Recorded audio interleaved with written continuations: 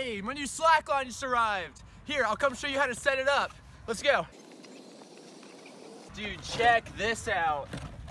We got two giant ratchets, we got the tree protection, and we got 100 feet of slackline webbing. Let's go! Okay, first you have to undo the plastic part around it.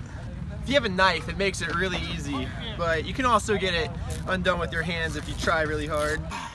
Dang it, I'm gonna get it. There we go. Got it off.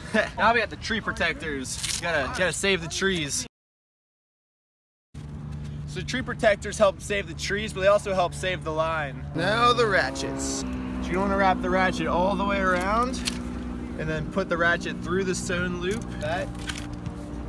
Make sure it's on the tree protector, it's not slipping down. So this is a little trick that I do. You definitely want the pattern side facing up, and then you make a little fold, just like that. Then you have the very bottom of the fold against the very end of the loop.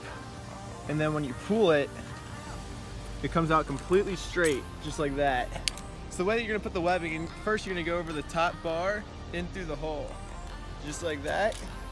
And then the little secret that I do is I go back up through here and then I crank it.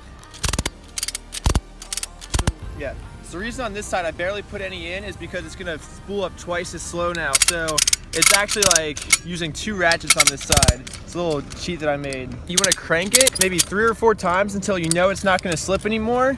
And that's gonna be our anchor point right there. You can see it's not coming out.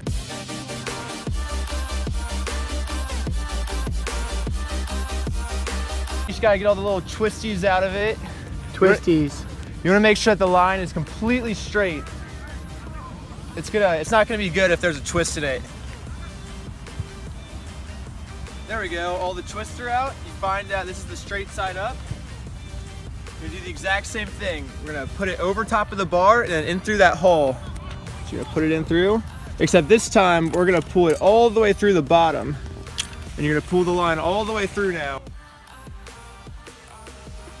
Now's the most important part. It's called pre-tensioning. The ratchet can only be cranked a certain number of times before it maxes out. So you want to get the line as tight as you can get it before you start cranking. That way, the line has the maximum potential to get as tight as it can get. The way you pre-tension it is you pull it as tight as you can through the ratchet.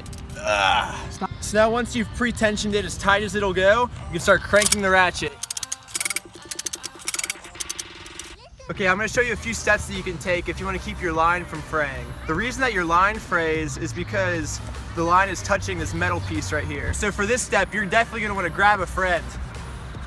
So you can see how the line is touching the ratchet at this point right here. And that's gonna cause the line to fray. So we're gonna wanna move the ratchet into a point where the line is equally between the both sides. So you wanna pull the ratchet in the direction so it's not fraying the line. So I'm gonna take the extra slack line that I have, bend it in half, and then you're gonna pull the ratchet in the correct direction. So in this case, you're gonna wrap it like this and pull this way the same time someone cranks. One, two, three. One, two, three, pull. So in our case, we pulled a little bit too much, so now we're gonna have to pull in the opposite direction. So we're gonna take the webbing and put it on this side, and now pull this way. Now you can see that the line is in between the two metal pieces. That's exactly what you want. So basically you're gonna crank the ratchet until it doesn't crank anymore. And then the most important part is you wanna close the ratchet so it's in the locked position. Otherwise it can come undone on you and you don't want that to happen. This way it's safe and you'll be perfect. Now time to crank the other side. Let's go. So this is the side that we put barely any of the webbing into. So this is where we're gonna get most of our tension for the line. So this is the side that we put barely any of the webbing into, so the spool is gonna fill up twice as slow. So you're gonna be able to get most of your tension from this side. It's similar to having two ratchets on this side. It's a little cheat that I know of. So now you wanna make sure that the ratchet is closed in the lock position, and now you're ready to trick line. And that's how you set up a double ratchet slack line. So I designed this slack line personally. You can get it at ascendingslacklines.com. So this slack line is 100 feet long, so you can set it up extra long to get extra bounce. And it comes with two larger ratchets, so you can get it extra tight.